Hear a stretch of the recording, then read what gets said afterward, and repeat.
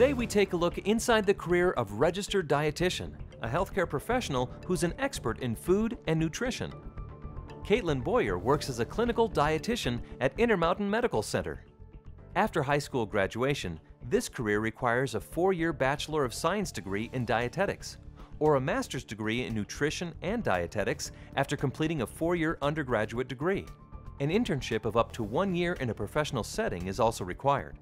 A dietitian can become licensed after passing a national examination and can then use the title Registered Dietitian. Most states also license dietitians. In Utah, the title is Certified Dietitian. Now let's catch up with Caitlin in the Newborn Intensive Care Unit, one of several locations she works in every day. So I work as a clinical dietitian, which is primarily inpatient in a hospital setting. So what that means, a lot of the job is just seeing patients um, for different reasons. So whether you're getting a consultation because they have a wound or an injury that they need special nutritional needs with, or if they're here long term and maybe require like alternative nutrition like a tube feed. Those are kind of quick at the bedside, just kind of bringing up kind of acute needs, what they need just for a little bit. I also work outpatient where a patient will come in, sit down with me, usually for about an hour, and I'll get a good background about what they're currently doing, what they already know about nutrition, and then we kind of go from there. In most cases, if they say a cup, you can think of your hand. So put that in your hand. And I like to teach them a lot of hands-on skills, you know, whether it's learning portion sizes or cooking. We give them tons of information because we want people to go home and feel empowered to make good nutrition decisions. So I'm Caitlin Boyer. I'm one of the instructors for the Weigh to Health program. I also get to teach classes, which is probably my favorite thing about my job. I love that group setting, so I'm working with patients on weight management. It's really good to get people together just to kind of bounce off ideas with each other and hear questions maybe you wouldn't typically ask. One of the things I love about working in the hospital is the interaction you have with all the other disciplines. So the doctor, the nurses, the pharmacists, when I work in the newborn ICU, we get together every morning with all those healthcare providers and we each kind of go through, okay, here's the nutritional needs, this is what's going on. The pharmacist will talk about medication, the bedside nurse will talk about just the day-to-day -day stuff, and it's really cool to kind of integrate together. You know, where are things crossing over? What can we do together to kind of make sure that we're meeting goals and helping the babies grow and improve. So that's a really big part of the day. I spend a few hours actually, and a lot of it is just communication with each other.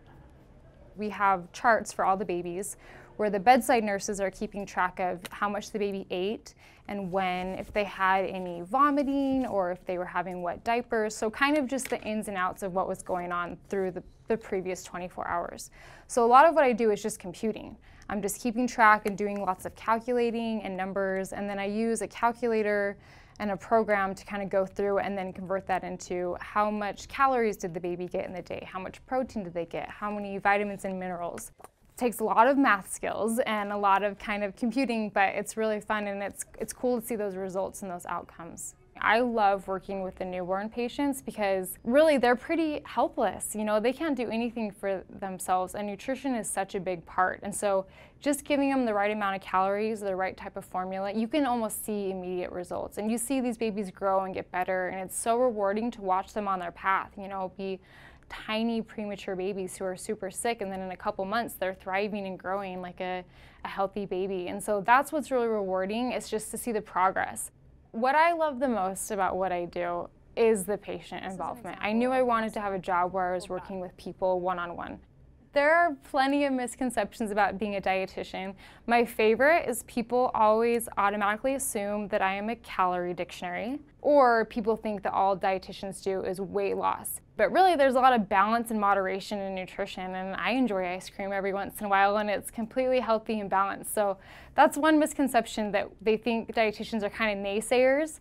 We're going to be the ones that say, oh, never eat this again, or this is bad for you. But I would never say any food is bad for you. Everything can typically fit into a balanced diet. So the best advice I could give to kind of the younger generation is just learn to understand food. It's concerning to me that so many people are growing up without actually understanding food and cooking and being in the kitchen and preparing meals. If we could just be eating whole, real foods and learning skills in the kitchen, learning how to go to a supermarket and you know what foods to pick out for yourselves. Very basic, you know, what are fruits, what are vegetables, and what do you do with them? If I gave you a butternut squash, would you know what to do with it or how to cook it? So very basic skills and you know without even getting too crazy, like making it a fresh salad or eating fruit where you know nothing goes into it. Let's cook from home. Let's look at a recipe. What do we need to know how to cook it and to follow it? There's so many roles a dietitian can have. I mean, even just from my day to day where I'm in the newborn ICU and part of the day and then teaching classes. So there's so many options for a dietitian. Every day is exciting to get up and go to work.